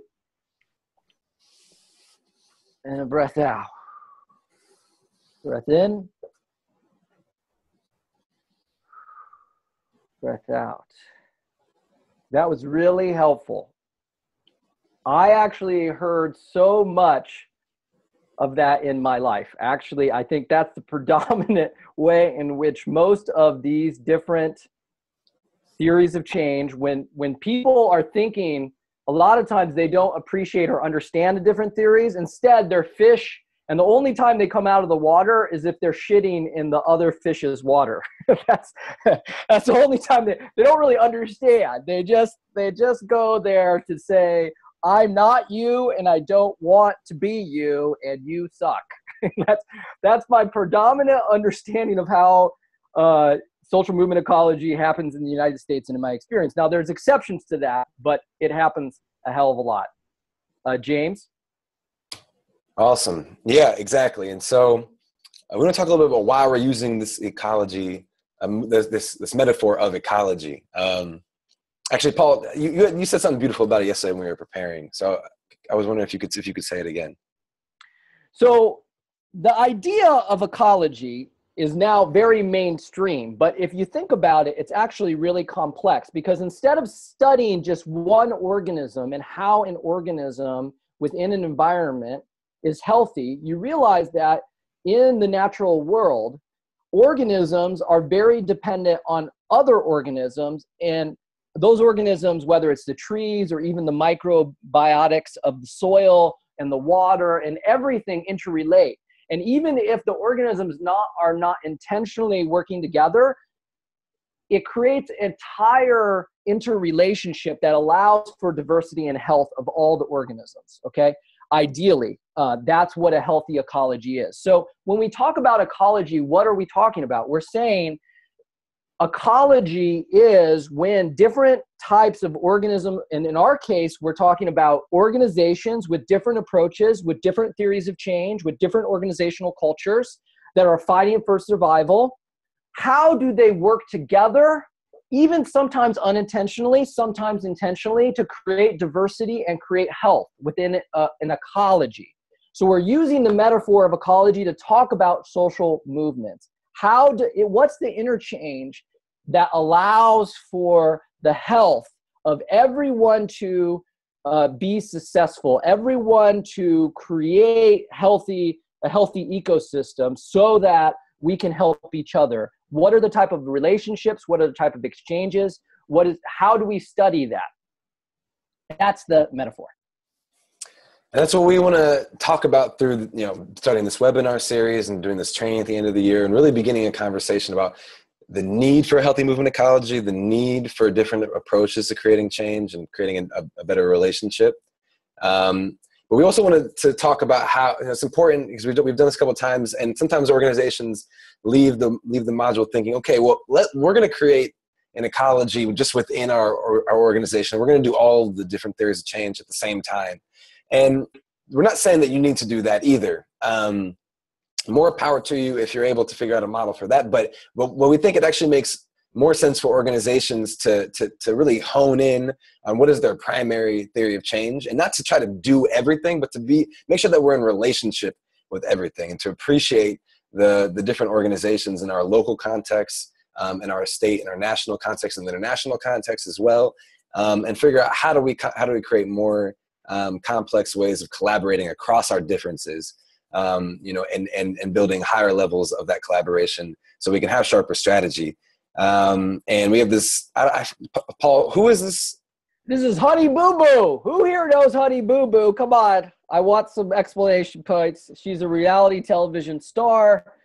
Um, and she's trying to juggle, and it's an epic failure here in this image.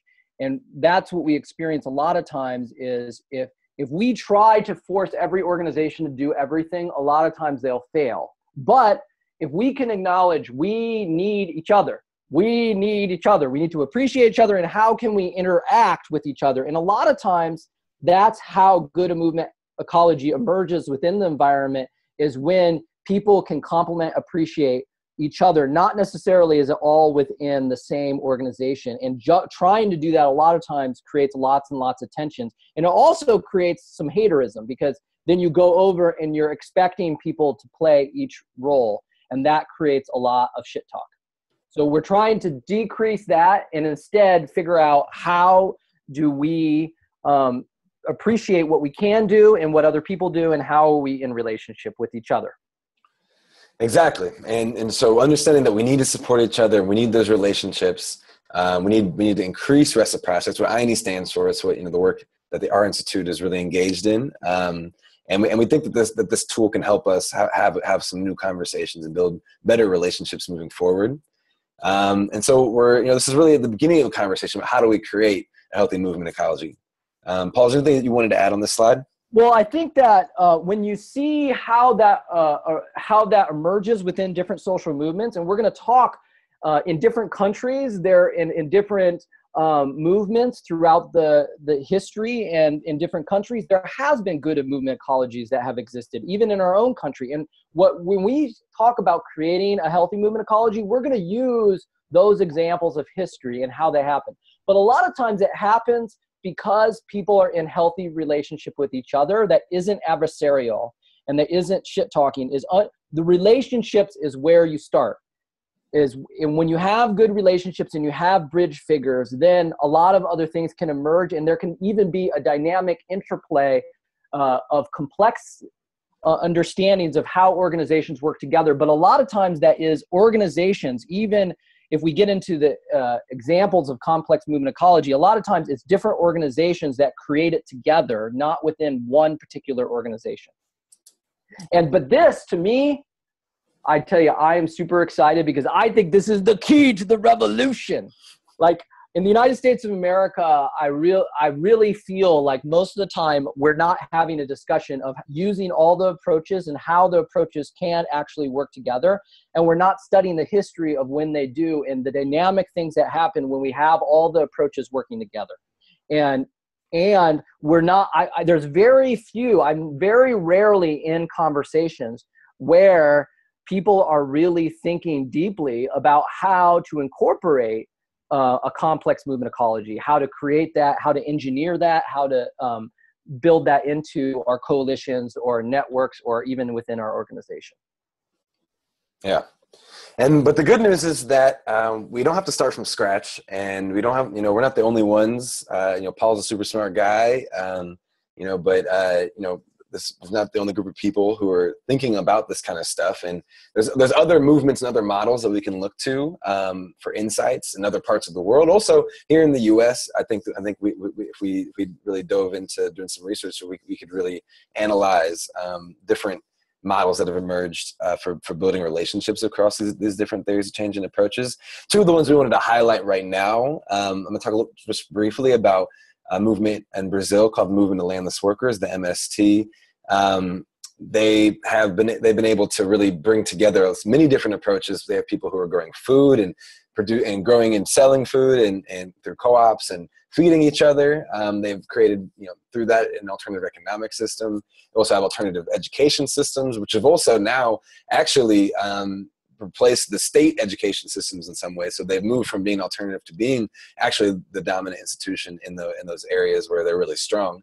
Um, and they've they launched popular movements. They they you know their their own movement and their own struggles, but they also have helped seed other movements in the country. Um, and and they were an instrumental part in building the the Workers' Party, which was recently ousted from power through a, an undemocratic coup in Brazil. Um, and so there's a lot of a lot of complexity within within their ecology, and it's not all you know, not to say that it's all easy. I mean, they've been going for 30 years, and there's a lot of tension between these different approaches, and, and, and it has to be negotiation and power sharing and figuring out where to move resources and what to prioritize. But they've been able to figure out a model for doing that, and it's really helped them grow. They have over 2 million people that are part of their movement now. Um, and we, uh, Paul, do you want to say anything more about the MST or talk a little about the Indian National Congress? Well, I, I think that uh, it's it's uh, MST is a beautiful example in the complexity. Now they they still have separate organizations that focus on a primary theory of change, but they all work together, and because of that, there's amazing collaboration that happens between those approaches. And uh, I heard from Ariel that there's lots of talks about how alternative institutions can directly support dominant institutional work. In some movements, they are. I think in the environmental movement, there is a better conversation about that than a lot of other movements. Um, that's a good example. We're going to brainstorm after this about where people see there being good movement ecology. Um, but I just want to uh, call out uh, Chris. Chris is writing a book right now that really talks about Gandhi and how Gandhi, um, from my understanding, Chris, you can correct me if I'm wrong, but I think he's talking about how amazing the Indian National Congress and Satyagraha and self purification ashrams, all these different wings of the movement that Gandhi was a huge bridge figure and a leader in creating these different organizations that each had different approaches that worked together so that when there was a mass protest movement, it was the ashrams and people doing constructive work to improve people's lives personally that allowed people to participate, like the Weavers Collective, that was part of the constructive program, the personal transformation changing, were the shock troops of the nonviolent army that was uh, Gandhi called Satyagraha, which was the wing of the movement that did mass protest movements. And the Indian National Congress was this al- alternative political institution, which was the later on took over the government, but they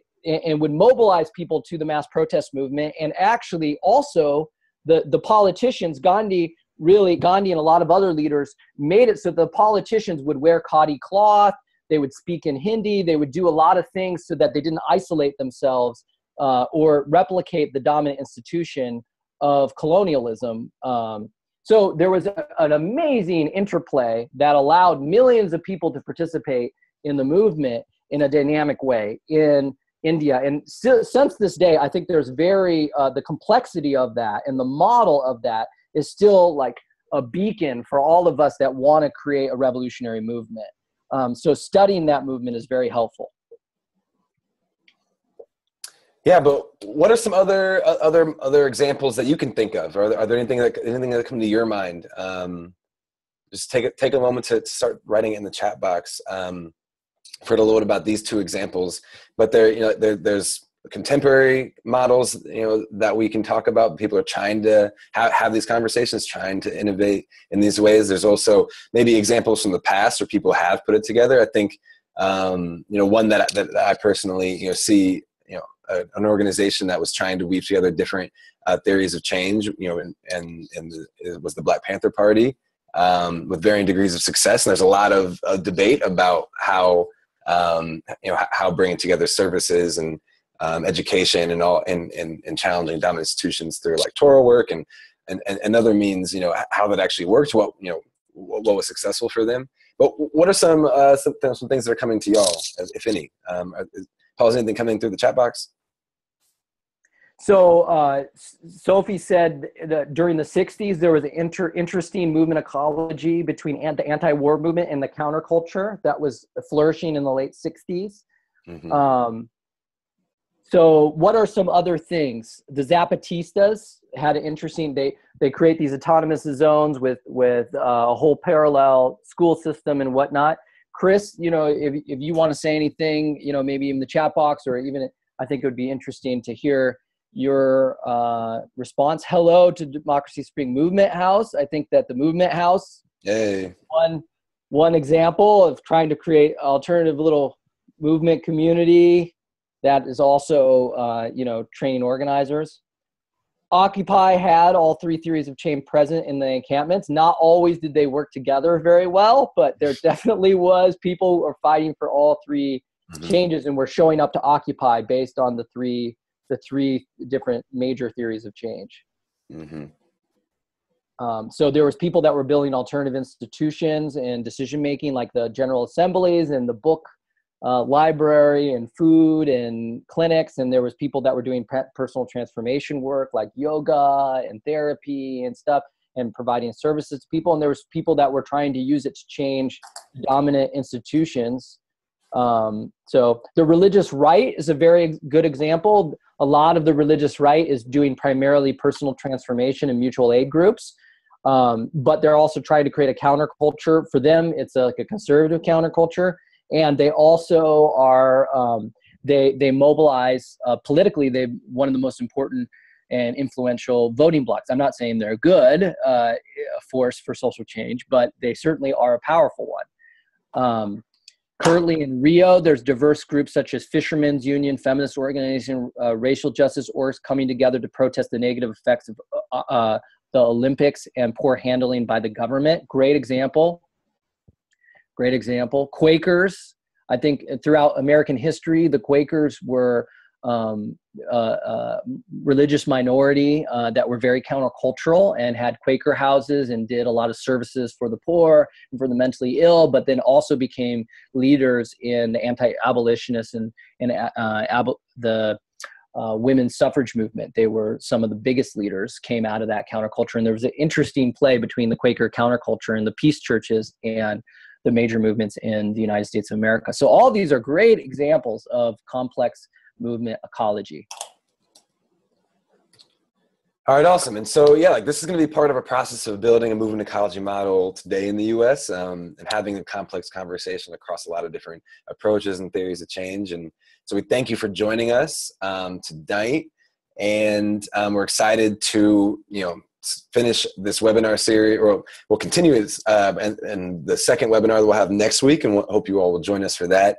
Um, but we'll try to have more webinars throughout the rest of this year. We'll have this training and and really try to launch this conversation um, o- over this next year, so so we can get into pretty pretty in depth in, into the complexities.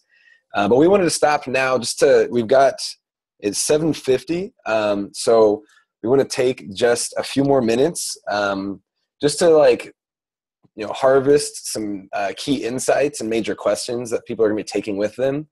Um, and so if you could just like uh, I, don't, I don't know if we want to unmute right now or just in the chat box. Um, just you know, take a moment to think and write down like what what was a key insight that came to you through this webinar. Um, uh, you know, what, do you, what, something you're going to still be thinking about or maybe sharing with other people tomorrow. Um, and what's a major question that you might bring back with you next week, or that you, you might have you know in your organizations, or or just be wrestling with for some time? Take a moment, think about it. Um, write them down in the chat box, I guess, and uh, and then we'll, we'll start harvesting those. Uh, can't wait. So let's let's take a breath in. Okay, cool. Your breath out. Breath in. Breath out. And let's really get grounded in one insight that came up for us. What is an insight that or appreciate something that we appreciated that we learned from this webinar and also maybe a question? And the first one i just want to say is like the big question for me is like oh my god what is the potential of building? If i were the king of the world if our movement was the king of the world it, what how would we engineer uh, in my tradition as liberation theology, the kingdom of God, what if our movement really took over the dominant institutions? How would we construct a movement ecology? And just thinking, right now we're just building relationships, but if we really had the power, how could we work together? What is all the complex ways we can work together? And just say, hmm, everyone could do it with me. Go, hmm, that is really interesting. There's lots of possibilities and lots of models Everyone go, hmm, I want to hear it. I want to hear it. I'm eavesdropping. Everyone go, hmm. Mm. The power, the power. I think people are still muted. Okay. So now, good, good. That was good, Victoria. That was good modeling. Okay. So, um, so we have some things. Movement ecology, this is one of the insights. Movement ecology works when we can identify one theory of change from our org and be in relationships with other um, that's great i think that that understanding that there isn't one theory of change but that there's many and that we can appreciate that there's strengths and weaknesses to each one um, and it's not just there is one key that we need all approaches. How to support uh, so another thing the appreciation was that there is lots of tensions within each of these. And throughout social movement history there's tons of tension. Um, and it's exciting to jump into what are the tensions between these different types. Uh, uh, i don't need to do everything. Thank god i don't need to do everything a lot of pressure off of me uh, is respect so Prentice is saying, comes to mind is respect that we lack it and we don't gain it. We alienate ourselves from moving forward together. We don't have when we don't have respect or appreciation or understanding. There's no way to build a relationship and there's no way to collaborate. Mm-hmm. Um, I've been guilty of that too. As I was a very rigid when I first started organizing, I was a countercultural dude and I crapped on everyone else's water and I couldn't work with them. And then when I became a hardcore community organizer, I crapped in everyone else's water and never able to build relationships. That, you know, um, so yes for respect. So now we're going to do some questions that people are. We're not going to answer the questions, but I think it's really good to leave us with these things. How do we overcome our differences and resolve conflicts? How do we support people to recognize that they don't need to do everything and are more effective when they choose one theory of change? Um, and then relate to other theories of change, but not have to do everything. Uh, what comes to mind? Uh, how do we distinguish between doing coalition building, theories of change working together, and our core purpose, one theory of change? That is a really good question. We're going to talk a little bit about that in advanced social movement ecology. Is how do we, what are thinking about what are models for doing movement ecology? Co- traditional coalition building is one way in which people think about it. Um, there's a lot of different ways in which people go about trying to create networks and movement ecology, and we're going to talk a little bit more in next webinar. Everyone, give me give me the the explanation point if you're excited to learn what are some different models of doing it. Woohoo! Okay. Does it make sense to brand the movement ecology under an umbrella that holds all three or to leave it unnamed? Very question. Do you have a meta brand? Like in MST, there's a meta brand, or in the movement, in the Gandhian uh, you know, uh, independence movement or the, the Indian independence movement, there was like a brand. Uh, they had actually a spinning wheel and that was the brand of the entire movement. And and so that's a really interesting question. Um, and we have some also some some appreciations for the facilitators for making this webinar accessible. Uh, thank you very much. Uh, like which way is more successful? Well you know what? A lot of times people get frustrated with us because what we say is we give you models, but we don't say necessarily which one should be used in your context. We give you a lot of theory, we give you a lot of distinctions, we give you a lot of models, and we give you um, a lot of historical sort of examples. But in the end, a lot of times we do not answer all your questions because we can't answer them. The hardest part is translation, is taking the theory and the models and the practices and applying it to your movement. And that's what takes almost all the energy and um, to make it work. Uh, and we can't do that. That's why we need you. And if you create m- better models of social movement ecology, it helps all of us. We need you. We can't do this alone. We we need you, and we need your examples and experience to apply these theories, these models, these practices into your own work, and then to teach us how in the hell to do this thing. Because we really, this is the beginning of a conversation we're not saying we have not done this in the United States of America. In some ways, we think that the first step to doing this, if you talk about the next, if you could do the next slide, James, really advanced movement ecology and this whole practice is like we want to build a more vibrant movement ecology in the United States of America. How in the hell do we do this? And Carlos Saavedra, who is one of the founders of the Ayni Institute, he says you always start with the training. You know, you need to get people into a similar vocabulary and introduce them and and to be in dialogue and participate and be in a liminal space where we can start understanding and appreciate each other before we can a lot of times that helps build relationships. And the relationships are the building blocks of whatever you want to do whether it's building a new organization or building a coalition or a network or whatever. The building block is first common vocabulary understanding appreciation and relationships. So really but we're going to advanced movement ecology we're going to start talking about what are the major barriers that we have for actually doing even relationship building um, what and advanced movement ecology also we're to we're to talk about distinctions within changing dominant institutions because as you realize there is a fight between different people who are trying to change the dominant institution. Some people are trying to work inside the system, some people are trying to work outside the system, some people are mass protest people, some people are community organizers, and a lot of times there's tons of tension even within that theory of change. So in advanced movement ecology, we're going to be talking about that. So uh, Sarah said these are these these shared frameworks are very helpful. Thank you very much. Thanks everyone. I'm excited. This this to me having lots of people on the same language to talk and expand this is going to make this such an amazing experience for me and for our movements. And I've already seen that uh, momentum training has created a common vocabulary around uh, mass protest movements and um, structure organizations. That, that's what we call those two traditions. And now I see so much dialogue uh, because of that training. And I'm so excited to do that now in a much wider way with artists, with people who are working inside the system, with lots of people. Because I believe that we can't do it the way we've been doing it. We have to think radically different about how to create social change.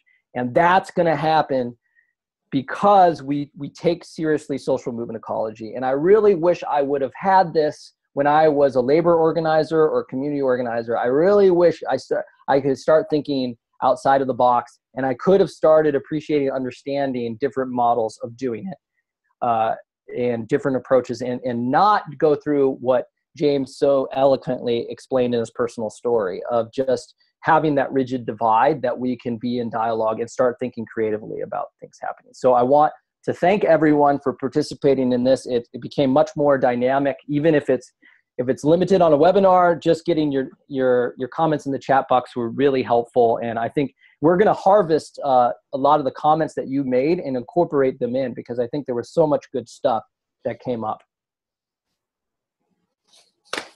Yep, and with that, it is 8:01. Um, so we're gonna end now, and we thank everyone for coming out. I'm gonna uh, stop sharing my screen so I can actually see y'all. And um, hey, look at that! So many beautiful people. Um, and yeah, thank you all um, for joining us. Uh, it's exciting to see so many exclamation points. I'm finally getting to see the chat box.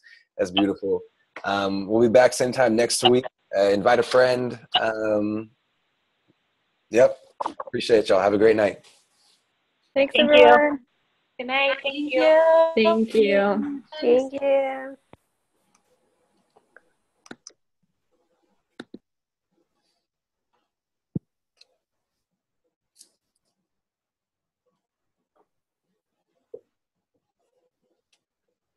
Okay. I think that went great. I think it was good, man. I think it was real solid. I'm gonna James, I think you're still recording. Oh crap! I am still recording. yeah, No, cut it off. Cut